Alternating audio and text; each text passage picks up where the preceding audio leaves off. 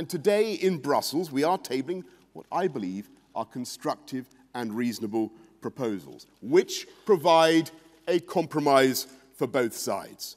We will, under no circumstances, have checks at or near the border in Northern Ireland.